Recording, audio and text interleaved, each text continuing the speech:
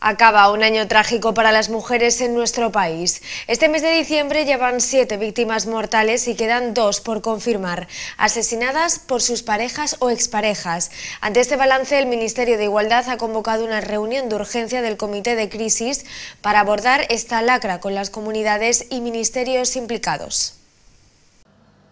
Diciembre empezó el día 4 su lista negra en Madrid y Murcia. Dos mujeres asesinadas de 67 y 56 años por los hombres que eran sus parejas.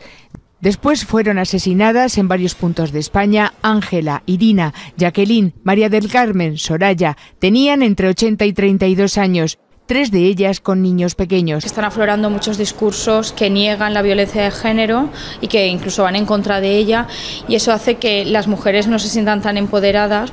Siete asesinatos machistas confirmados en el que ya es el peor mes del año, el peor desde 2015. Pero hay otros dos posibles crímenes de género. Me rebelo contra, contra esto, contra, contra la violencia. No, no matan a una desconocida, matan a una vecina, matan a una amiga, matan a una compañera de trabajo.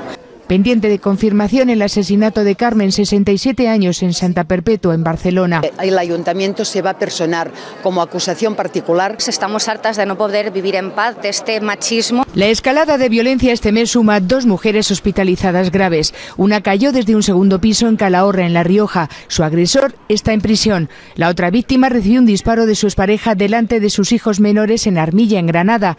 Lo busca la Guardia Civil.